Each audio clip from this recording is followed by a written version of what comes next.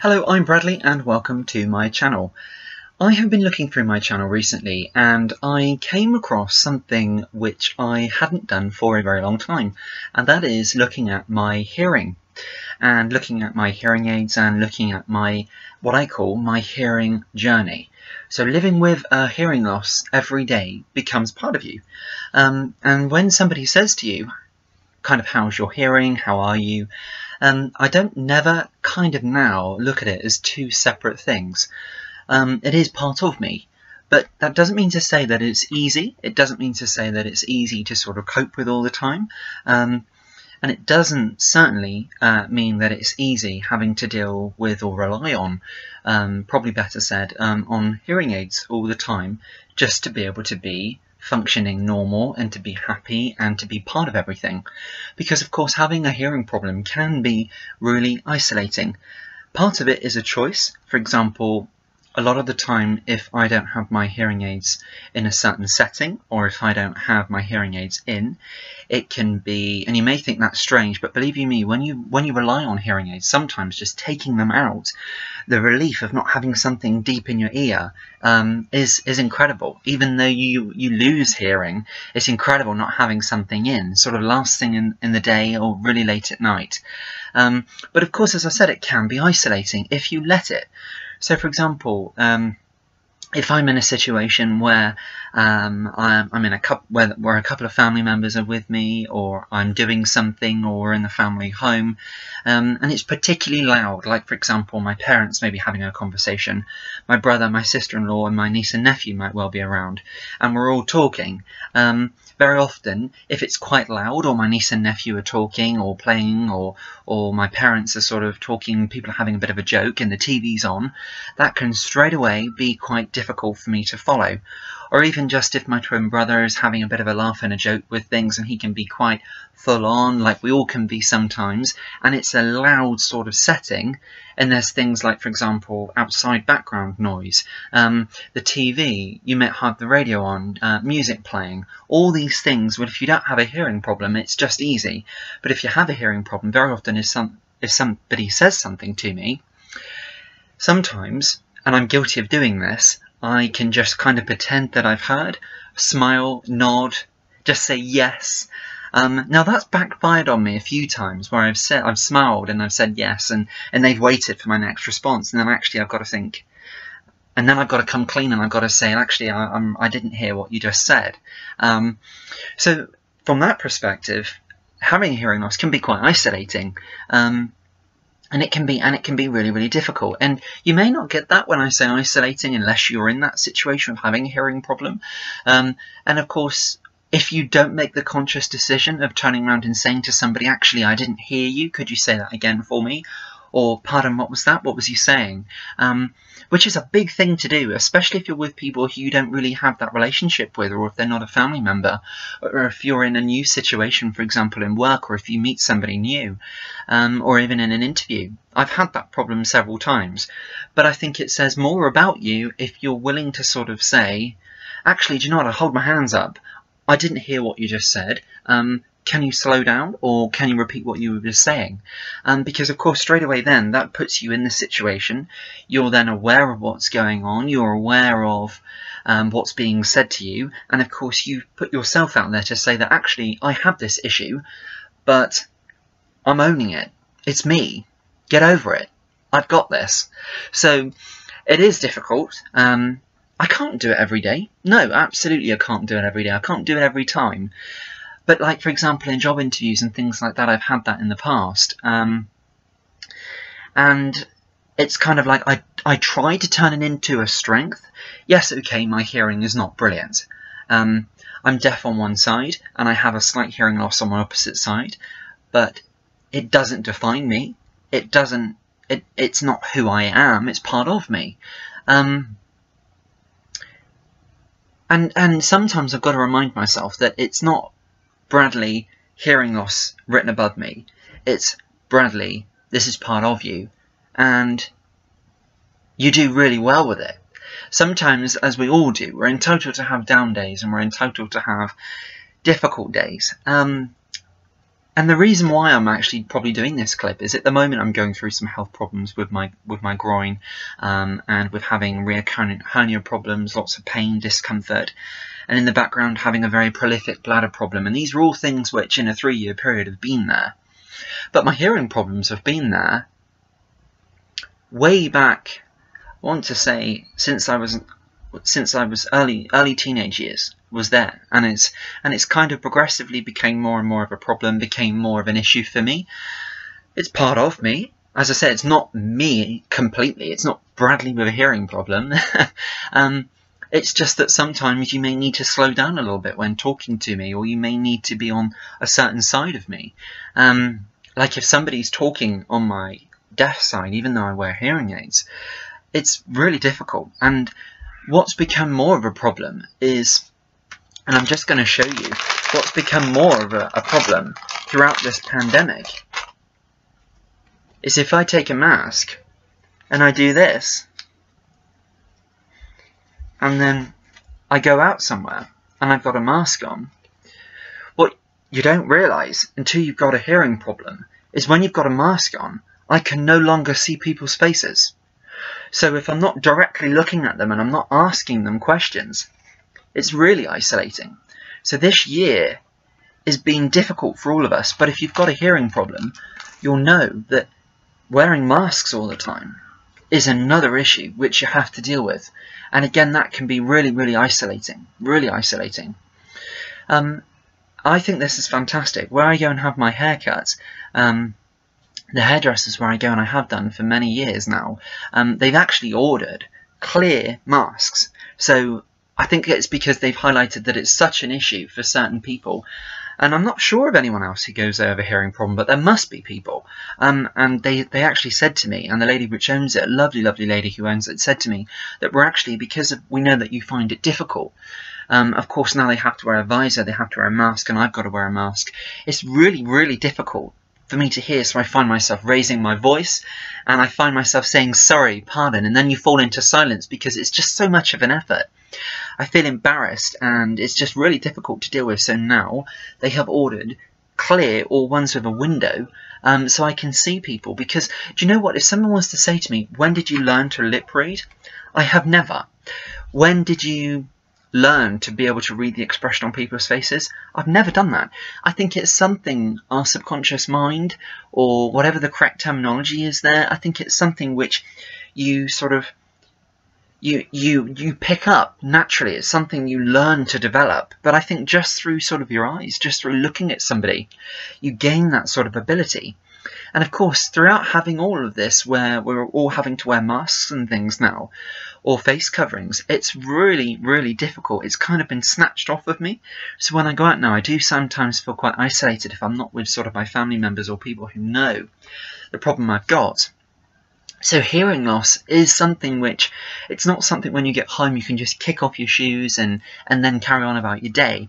It's something which is always there in every aspect of your life, whether it's day, night, when you wake up in the middle of the night and you're not feeling particularly well, or if you go out and you're feeling quite hot, quite sort of anxious or stressed, for example, we all do at times.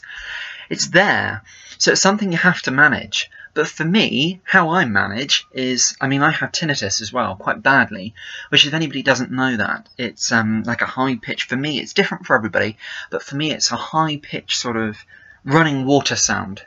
And I've had that since, again, early teenage years. Wasn't through listening to loud music, wasn't through abusing my hearing or anything. It was just through where I lost my hearing. It was kind of something which which sort of festered its way in and became an issue and became a symptom of having a hearing loss. It helps sometimes through wearing my hearing aids because it boosts my hearing, um, or sometimes listening to soft, soothing music. For me, it's soft piano music, um, but it's difficult sometimes to manage. But um, I don't let it define me. I, I try to stay really, really positive, and I always try to think that it's just a small thing because other people have these huge things they deal with on a daily basis. Um, and what on earth gives me the right to moan when I can still get out and about and I can still... Yes, I give you that it's difficult at the moment with my groin and hernia problems and bladder problems and things, but I can still do things for myself. I can still make decisions, and there's so many more people worse off out there. So, so saying that makes me feel quite strong, quite empowered, and it makes me want to really push forward because, of course, there will be an end to this. There will be, there will come an end to all of this, um, where we don't have to wear masks anymore, um, and there will be a time where people are in better places, aren't they, to deal with things. And I think once these problems disappear from me, I'll then be in a better place to deal with my hearing. Um, but it's but it is it is difficult. I'm not going to sit here and say that having a hearing problem is not is easy because it's certainly not. But um, for example, this what I have in is an absolute saviour. It's a blessing. It really is a blessing. Now this is a wired cross system, but I don't just have this. This is my favourite hearing aid setup, I have to admit. I mean, I've been very privileged to have a range of hearing aid settings. So I have a cross system which is wireless. I'm just going to show you. So this is, they're both in separate cases. And this is my wireless setting. So I have a hearing aid for both ears. It's wireless. Um, but going back to what I said, I'm don't forget I'm deaf on one ear, so I don't hear speech on this ear at all. But then you think, why are you wearing hearing aid? Because on this system, they take the hearing from it takes the hearing from my good side or my slight, I have a slight loss on this side, but they take it from this ear and then it gets fed from this wire, this cable, which you can see from the back of my neck, into this ear, and it mimics having hearing in both ears, which is great, absolutely great. The, the only problem is sometimes when you move your head, this happens, and I'm just going to do it, where you turn your head quickly, or in the winter if you've got a scarf on, or if I've got a mask on, at the moment pulls the wire, pulls it off my ear, and very embarrassingly, I don't always feel this happening. And somebody, for example, if I'm with my with my brothers, or if I'm with my mum, or or my dad, or um, I'm visiting my nan, and I can kind of see their look that something's different. And bless them, they don't like to tell me sometimes, but of course they do end up telling me. By the way, if you can hear a sound, um, somebody's cutting something, I believe, with like a power saw. So do bear with me through this sounds. It always seems to happen when I'm doing a clip. But getting back to what I was saying, so this can be a bit of an issue. Um, I used to really worry about it with my confidence. Um, I used to worry about what people would think, but now it's part of me. I need this to function on a daily basis. So now I don't tend to worry. I have my down days, but we all do. Um, what right do I have to be down about something which I have something to manage with? I try to tell myself. Of course, it doesn't always work, but um, I try to be optimistic. I try to be positive all the time.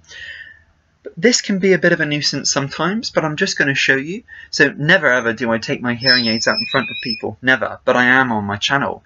So now I'm fallen into silence on this side, so it can be quite difficult for me to manage. Of an evening when the day gets a little bit too much, it's lovely to take hearing aids out and have a break, but as you can see, this wire sometimes becomes a bit of a problematic issue, because sometimes I can I can sort of move and then this will come out of my ear and I'm left with a hearing aid on one ear and I'm left with it kind of swinging.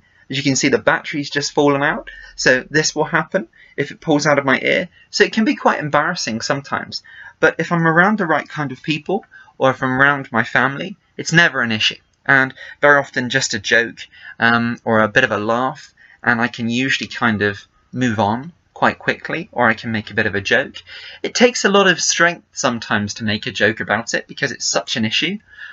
But now, um, I never used to wear hearing aids all the time, but now I have to because as the years have gone on, um, I was always told that because the hearing aids, which you've seen me with then, this doesn't actually work on the hearing which I have in this ear, it copies the hearing from my good side.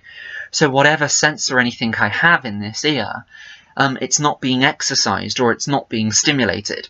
So that's why they gave me this particular hearing aid to wear, which worked primarily on the hearing which I had in this ear, which was only a very, very small amount. And it wasn't speech. It was, for example, if somebody banged something or if there was a loud shriek or something, I would know, ah, that came from there. But the problem again with my hearing is I, and I don't remember when this happened, I lost direction of sound. And I don't kind of know when that happened. Very often people say to me, do you remember how you used to hear? And do you know what? No, I think because it was a gradual process of me losing my hearing in this ear, I don't remember when it happened. Um, and that upsets me sometimes to think that you can look in the mirror, I can look down at this camera now, and I can think that I'm me, I'm a young man, um, there's so much ahead of me, I like to think, in my life. I take nothing for granted. I always say to my family and my loved ones and people who are so dear to me, none of us are promised a tomorrow, um, so we should appreciate what we have today because tomorrow it could be gone. Um, I know that sounds really quite dark and quite heavy, but it is. We hear so many awful things happen and it can just be snatched off of us. So what right do I have to moan about having a hearing problem? But sometimes it's not so easy to deal with. But I don't never show that to people. I try to force a smile, and then in a couple of hours I'm fine again. But um, so this hearing aid was for keeping whatever I had in this ear stimulated. And by the way, if you're thinking this is a bit of a cloudy ear ear mold. Um, I'm allergic to latex, and my hearing aid molds have to be hypoallergenic. Um, they have to be really sensitive plastics. So that's great. And they, my my local audiology uh, department have been amazing. And the particular lady, uh, the particular lady who I've dealt with for many many years, knew me when I had my hearing fine or of a slight loss. Um, and she's been with me and supported me throughout all this time, um, with my hearing changing. But up until very recently, and this happened this morning, which is what pushed me to do this video, I used to put this in and I used to know, I used to sense, only slightly sense that I had this in. But now, I mean, this hearing aid's on, it's switched on, and when this happened, I, I do not know. This now, I cannot tell I've got something in. I cannot tell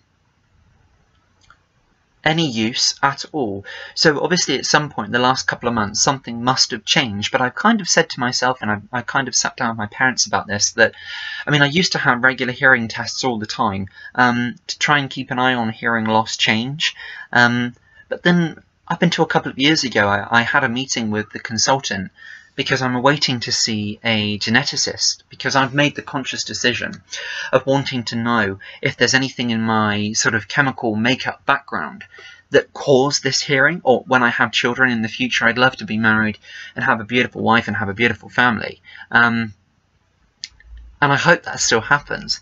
Um, but I want to know if I would pass hearing loss on because that would be a huge thing for me. When my nieces and nephews were born from my brothers, um, it was a huge worry to me about hearing loss if I'd pass that on. Um, so that's why I want to see a geneticist. And just for my own self, I want to know how this happened. But um, I will not have any more hearing tests unless I notice a significant change and I notice a struggle. Now the next question comes in, am I struggling? Am I struggling? Do I notice a change? Recently this year, I think I'm noticing a little bit of a, a difficulty when I'm watching TV of an evening or if I'm watching a film. Very often I have subtitles on, and if I don't have that, sometimes I feel quite Confused is the wrong word, but I kind of almost feel like I'm in a bubble or in a tin can and it's quite difficult for me to, to follow, um, almost like that somebody's doing this. So possibly there's a little bit of change, but I noticed this morning, I thought to myself, okay, so I'm at home, um, I haven't worn this hearing aid for a long time, but I need to try and stimulate this ear. Um, and as I say, I don't hear speech, I'm deaf in this ear, um, so I have a, uh, I have a very profound hearing loss in this ear, and I said I have sensory profound hearing loss, which I believe is switched off on the brain.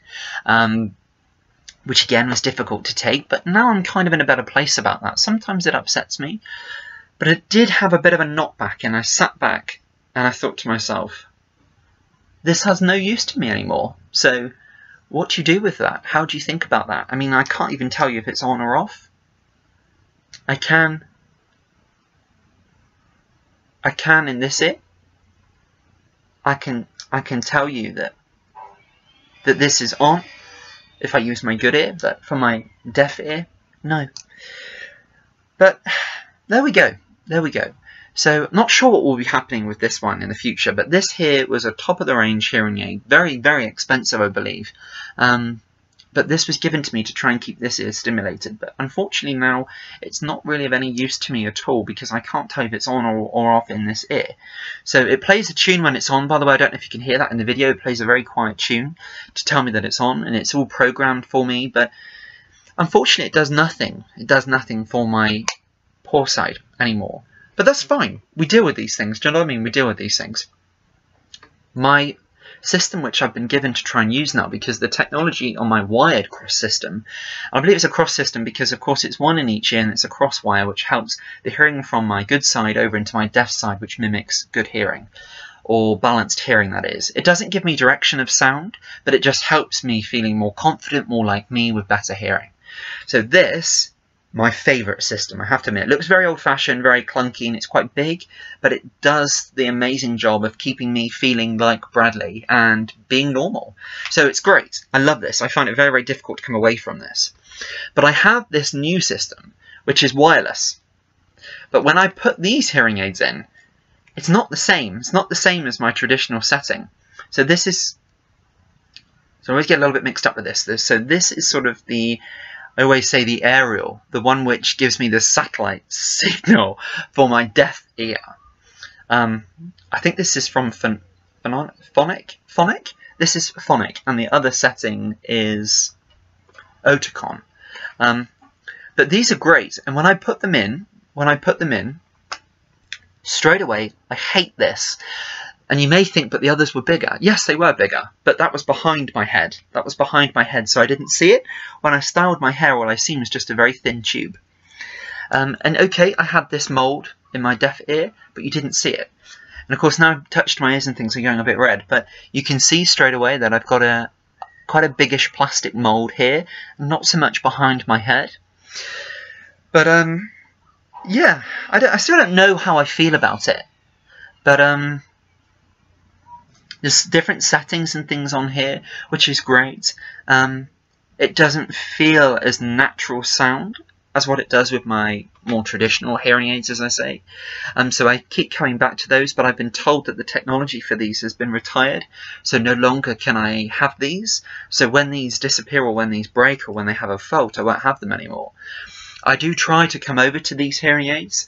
Um, I'm not so worried about the appearance. I used to be. Um, I'm not now. I think it's taken me quite a few years to kind of accept that, like my amazing mum, she gets me through dark days with my hearing. Um, where my hearing doesn't define me. It doesn't define me. Um, it doesn't change who I am, and my mum always says. It doesn't change what a lovely person you are. It doesn't change what a lovely, kind person you are and all the amazing things I do for people or try to do for people. I try to help anybody. We have a very short life. Why on earth wouldn't you want to help people? That's my ethos. So I love charity and I love helping people and um, I love standing by people. I love helping and that's me. So my mum always gets me through that, that my hearing doesn't change who I am as a person. It's just part of me. Um, and of course, nowadays there's so many, it sounds awful, doesn't it, nowadays? But there's so many people with things in their ears all the time, so why worry? And I don't, I try to think about that. But, um,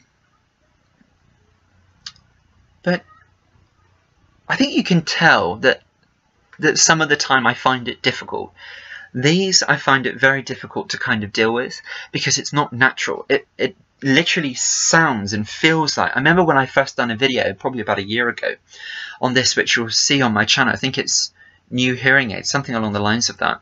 Um, and I kind of said that I would give myself time to come into this, but now, having tried it for almost a year, if not longer, it literally sounds like that I'm talking in a tin can all the time. It doesn't feel natural, it feels very clunky, it feels very tinny. I've had it adapted, I've had it changed lots of times.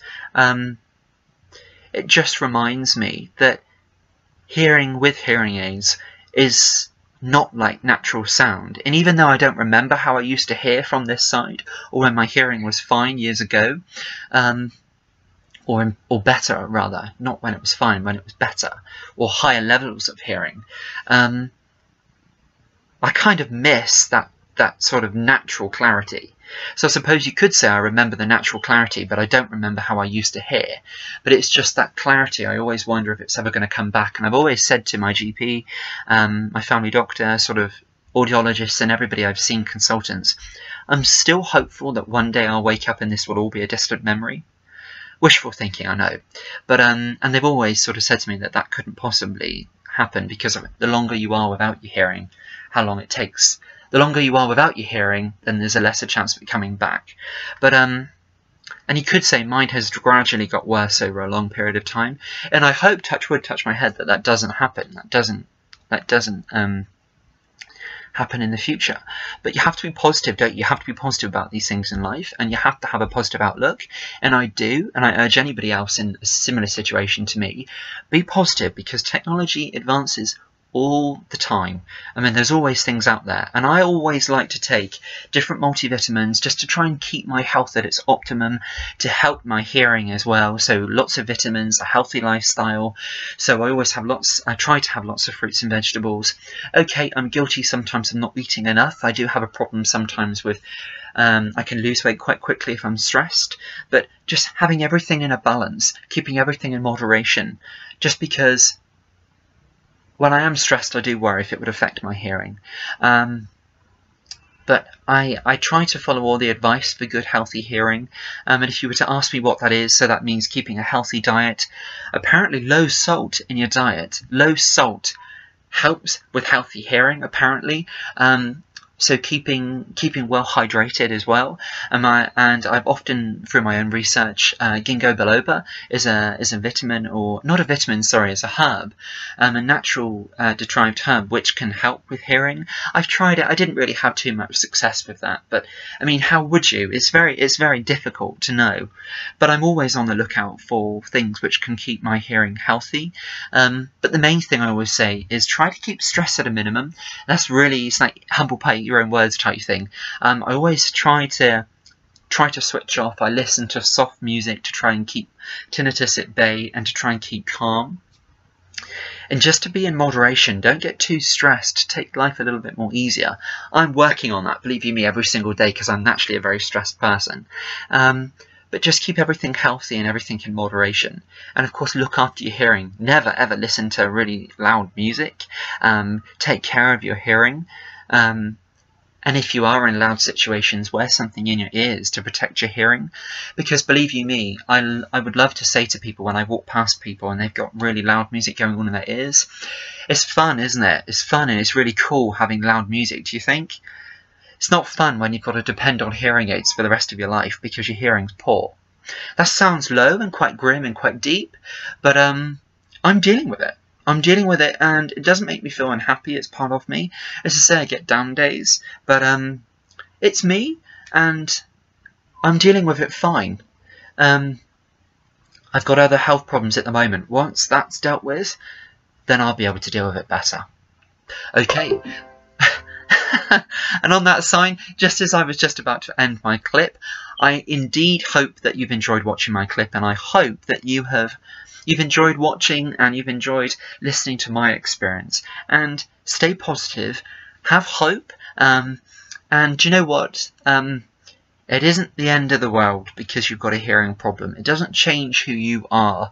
Um, if it helps, literally drop me a line, drop me a question. I'm here. I'm here to talk to. You, I'm here to ask a question. And I'd love to share that.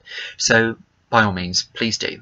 Um, and on that note, thank you very much indeed for watching my clip. Um, and until next time, we will see you then. Bye bye now. Thanks very much. Bye bye. Bye.